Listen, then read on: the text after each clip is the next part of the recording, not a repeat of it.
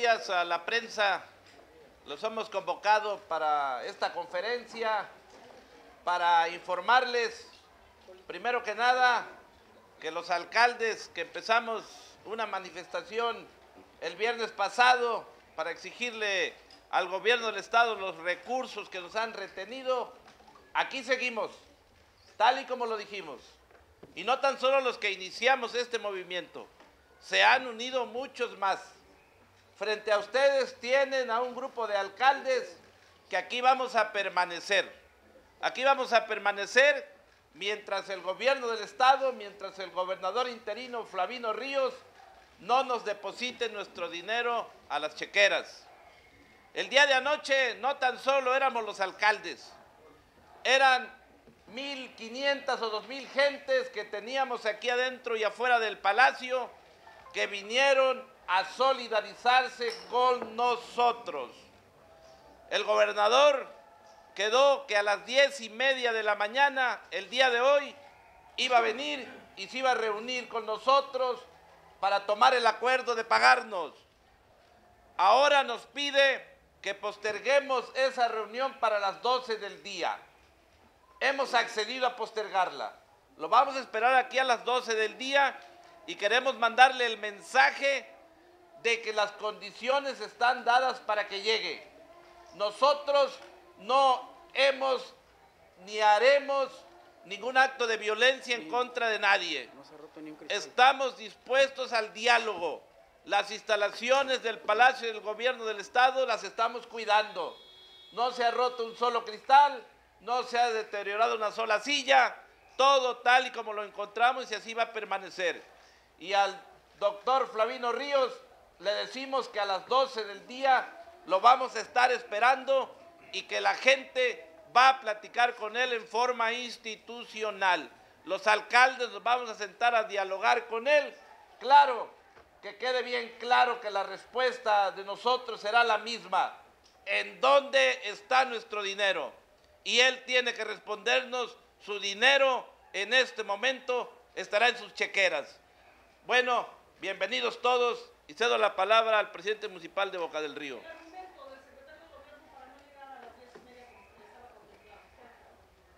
No tiene una solución todavía. Ese es el problema que estamos viendo, que no están listos. Y no veo por qué de 10 y media a, 2 a 12 pudiera tenerla. Eso es lo que estamos preocupados. Eh, yo creo que no va a haber solución y nosotros no vamos a aceptar nada a medias.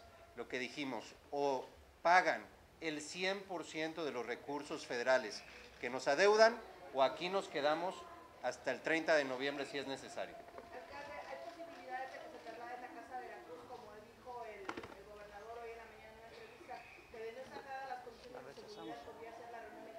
Se rechazó porque se ha tratado con todo respeto el recinto. Ayer platicamos con la gente que estuvo aquí. Eh, no tiene la culpa el Palacio de Gobierno de los pésimos gobiernos que ha tenido en las últimas dos administraciones. Esta es la casa de todos los veracruzanos y siendo gente responsable la vamos a cuidar. Hemos tenido inclusive gente que está limpiando, que está tratando las cosas con tranquilidad, así es que están las condiciones dadas. Nosotros lo que queremos es platicar de manera institucional con él, ya que todo el fin de semana no tuvo el descaro de hacerlo, que no fue ni siquiera para mandar a un velador para ver qué estaba pasando. Y él lo dijo, que simple y sencillamente que no le importaba, que aquí podíamos estar hasta que ya reventó las cosas. Hoy estuvimos eh, varios alcaldes en la prensa nacional precisamente denunciando esto y es lo que queremos también, que el gobierno federal voltee a ver a Veracruz, que vea que se está incendiando y que es necesaria la intervención para que esto termine. No podemos permitir que este dinero quede eh, en el aire y que no se nos pague.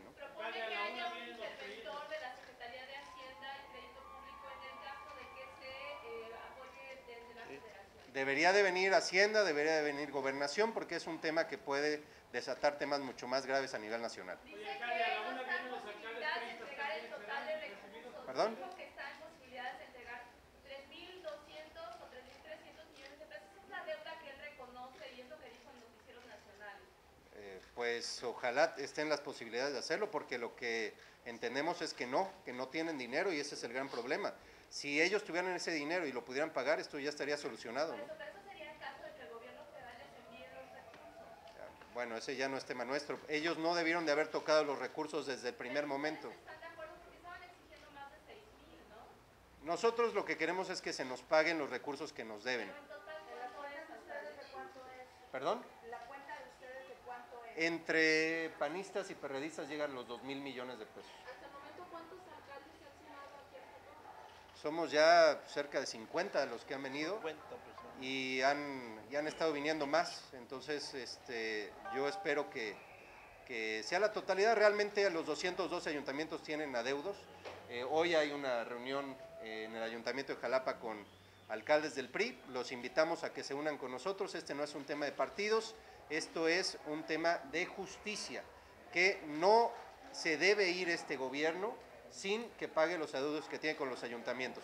El problema que tenemos todos es la temporalidad. Si eh, estos recursos no están por lo menos asignados, licitados en diciembre, este recurso se tiene que reintegrar a la tesorería de la federación y sería un caos literal el estado de Veracruz completo. Alcaldes, ¿han pensado en la posibilidad de tomar la legislatura del Estado? Porque hoy se aprueba la cuenta pública y muchas de las observaciones que hay en el 2015 para ustedes son parte porque no se les depositaron estos recursos. ¿Lo han pensado para que no se vean afectados? Mira, yo te diría que paso a paso, lo primero es solucionar esto. Nosotros no estamos interesados en tomar ni calles, ni carreteras, ni palacios, ni nada. Nosotros lo que nos gustaría estar ahorita es precisamente en, en nuestros municipios atendiendo las necesidades de la gente, pero no lo podemos hacer si el dinero que nos corresponde por ley se lo está robando el gobierno del Estado. Por eso tenemos que solucionar primero esto. No, so- no queremos estar aquí, no somos porros, no somos vándalos, no nos gusta estar aquí. Este, todos hemos tenido que dejar nuestros trabajos, nuestras familias, pero estamos exigiendo algo justo. Ellos mismos lo han reconocido. El dinero que era de los ayuntamientos se lo robaron literal, lo desviaron a otros temas y ahora ellos lo tienen que pagar. Yo no sé qué, qué van a hacer. Esto tenían que haber hecho y te habían, habían, te- eh, tenían que haberlo previsto desde hace meses, pero ahora ellos son responsables de reintegrar estos recursos. Oiga, ¿no se pueden dar problemas de ingobernabilidad en los municipios al no estar las cabezas? Claro, porque el problema eh, no es que no estén las cabezas, el problema es que pronto o ya hay problemas en los ayuntamientos en donde no hay para pagar la nómina, en donde no hay para pagar la luz, no hay para pagar eh, los servicios de recolección de basura. Eso sí genera ingobernabilidad, no que no esté una persona. No, genera ingobernabilidad el hecho que no tengamos los recursos suficientes para dar un buen servicio a la ciudadanía. Rechazan la presencia, perdón, rechazan la presencia de grupos políticos como dijeron algunos, algunas voces que había grupos de choque alrededor del Palacio. Mira, yo, yo te diría que es tan fácil, ustedes han estado aquí, la gente está tranquila ahí, no hay realmente nada, eh, se ha respetado el recinto y lo único que exigimos es algo justo, que nos dé el dinero. Y si se hubiera atendido desde el sábado, a lo mejor ya hubiéramos salido, pero la respuesta que está en las entradas de quién no es personal de seguridad, es gente de, los propios municipios que ha venido y que están haciendo funciones para controlar la- el acceso, es lo único que está pasando. Es absolutamente, absolutamente falso, eso es mentira que están tratando de generar para descalificar este movimiento. Este movimiento es legítimo, es un movimiento que eh, surgió por parte de los alcaldes del PRD y que nos hemos venido uniendo eh, alcaldes de muchos partidos más y que lo único que estamos pidiendo es que se nos dé lo que legítimamente nos corresponde. Cualquier cosa que traten de desviar la atención eh, en cualquier sentido es simple y sencillamente es un distractor de lo grave del asunto, de la gravedad de que se hayan robado miles de millones de pesos de recursos federales etiquetados a los ayuntamientos y que tienen en una desgracia social y humanitaria a gran parte del Estado. Muchos de los municipios serranos que están aquí, los alcaldes, no tienen dinero para pagarle a, a su gente, van a tener que despedirlos, no hay dinero para medicinas, no hay dinero para absolutamente nada y eso está generando un colapso en los ayuntamientos de Veracruz.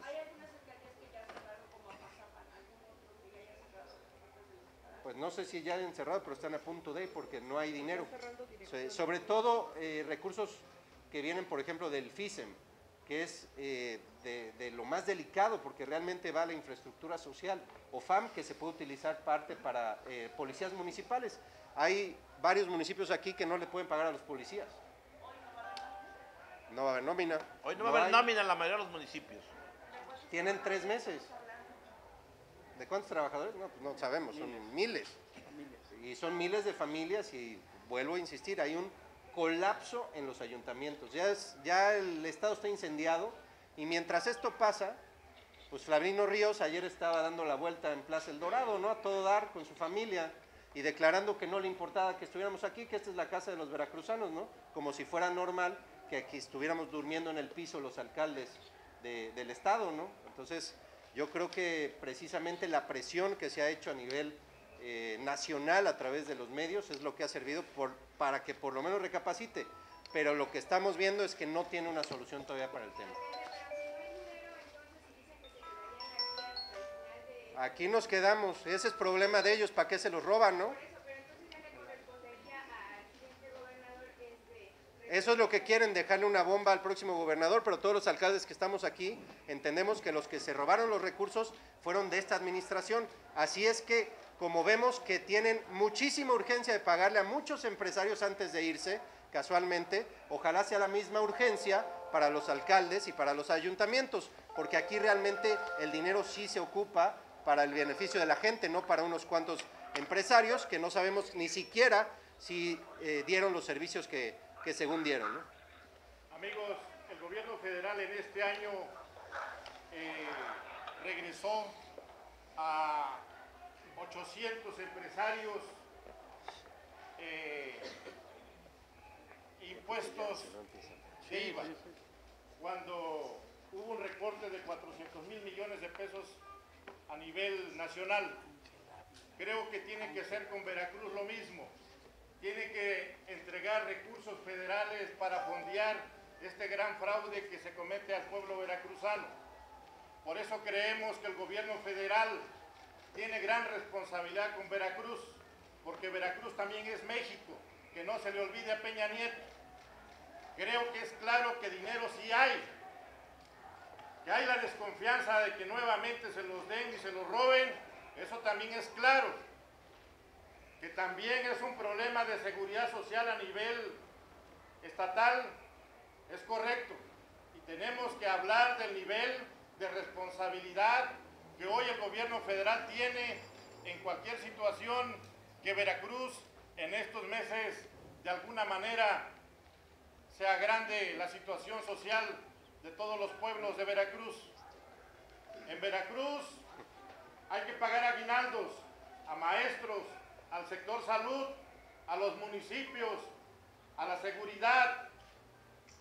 Tienen tres meses de no darnos un recurso para pago de nómina. Tres meses. Ya los ayuntamientos no tenemos de dónde tomar prestado para liquidar esta quincena que se vence. Sin embargo, pareciera que a ellos la Virgen les habla duermen muy tranquilos y pasean muy tranquilos. Hoy estamos aquí durmiendo en el suelo, pero nos preocupa que realmente muchas familias estén muriendo en la sierra por falta de medicamentos. Esta lucha no es de partidos, esta lucha es de seguridad social para todo pueblo veracruzano. Por eso debe de quedar claro que no nos movemos hasta que el gobierno federal junto con el gobierno del Estado, tomen una solución correcta de depositar a las cuentas bancarias de todas las instituciones de Veracruz y de los municipios. Muchas gracias. Gracias. Muchas gracias. Salvador Montalvo, Gracias. del Muchas gracias. de de. Muchas gracias a toda la prensa. Gracias. No, a ver, te voy a enseñar un video de que tengo del 3 de diciembre del año pasado, donde me bloquearon allá en Vega de la Torre para que no me viniera a manifestar. Te lo voy a enseñar ahorita de mi Boca del Río presentó denuncias en la PGR en mayo y en septiembre. Pues porque ya llegó al punto de quiebra, el punto límite, ya no hay más. Y el problema es que se están yendo y ahorita dicen, bueno, es que lo tendría que pagar el próximo gobierno. El problema es que en diciembre tampoco va a haber dinero y, y el tema es temporalidad. Si estos recursos no están por lo menos licitados y pagado el primer, este, eh, el primer anticipo en diciembre, todo ese dinero se tiene que regresar a la federación y ahí sí sería un desastre, porque no es nada más dinero del FISEM y FAM, es dinero de obras extraordinarias que se fueron, eh, que fueron autorizadas por los diputados federales desde el año pasado. Ese es el gran problema que tenemos. De los 25 alcaldes que están aquí, ¿cuántos han presentado ya denuncias a la PGR? Varios. Pues casi todos. Casi A ver, todos como que 30 estamos denuncias, más de desde 30. con tiempo. ¿Ya más de 20? Sí, más. Sí, más, 40. fácil, fácil. ¿Qué respuesta han tenido de estas denuncias penales que se presentaron ya hace meses? Ninguna. Ninguna. Ese es el problema que tenemos, ninguna. Y la PGR basta con que vea el día que llegó el recurso, que ahí están los comprobantes de Hacienda, y ellos, según la ley de coordinación fiscal, tienen solamente cinco días para entregar a los municipios a los que está el recurso etiquetado. Con eso le basta a la PGR para revisar que ese dinero no se, no se depositó de manera correcta y eso implica un desvío de recursos, abuso de autoridad, incumplimiento de un de- deber legal y peculado. Y cárcel. Gómez Pellegrín podría estar en la cárcel desde el día de hoy.